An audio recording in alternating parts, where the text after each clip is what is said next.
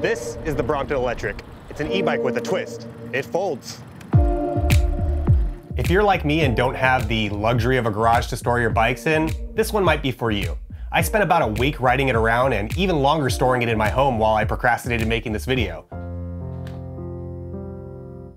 Here's what I think about it.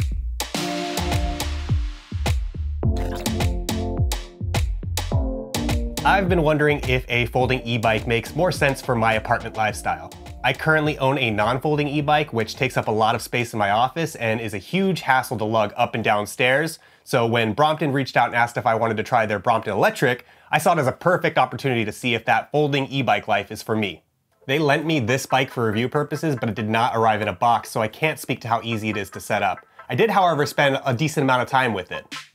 It's their current standard six-speed model. It comes in two colors, black and Turkish green, and costs $3,800. There's a two-speed model for $250 less, but I'll tell you why it might be worth the upgrade in just a bit.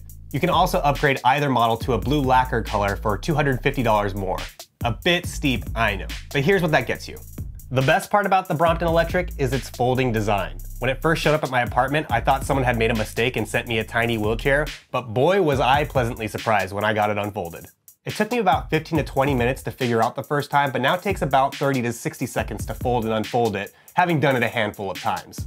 I still worry I'm gonna smash my fingers every time, so I suggest you go slow until you know the folding mechanism like the back of your uninjured hand. When the bike is folded, it's very compact. It fits in a closet, in the trunk of a car, and even under my desk here. I've had it in my office for a couple of weeks and have barely noticed it.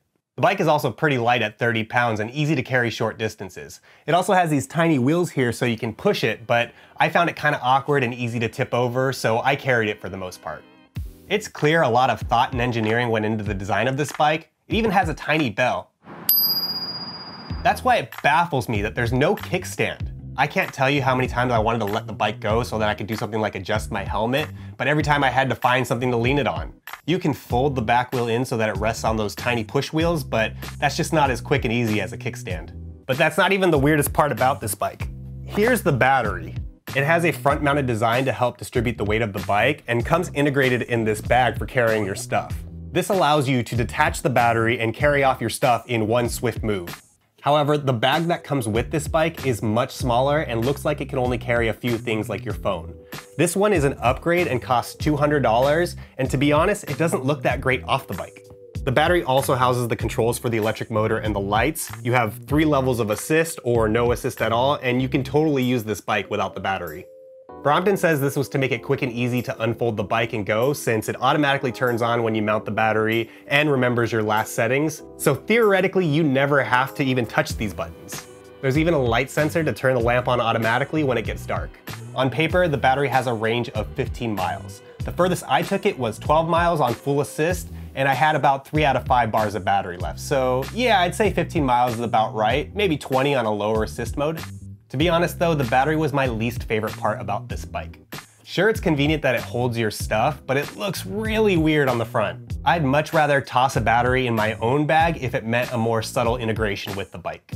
The controls on the battery also feel unsafe to adjust while you're riding since you have to let go of the handlebars and reach over the front to do so. So as I'm recording this review, Brompton actually released a mobile app that lets you connect your phone to the bike. This allows you to use it as a mounted display and gives you stats like your speed, your distance, and even lets you change the level of assist on the motor.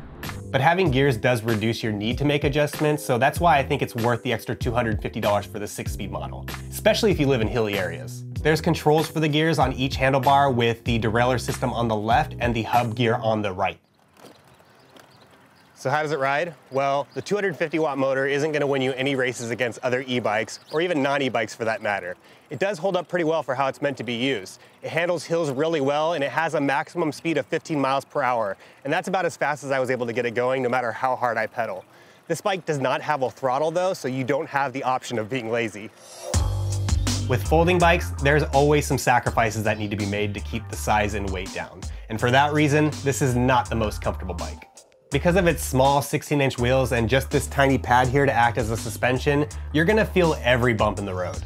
Plus, I'm a tall guy at 6 foot 1, and because this bike is so low to the ground, I have to raise the seat all the way up, which means I'm hunching over while I ride, and that can get really painful on my back and wrists. The seat also hurt my butt after about 30 minutes, but that's pretty standard for a stock bike seat.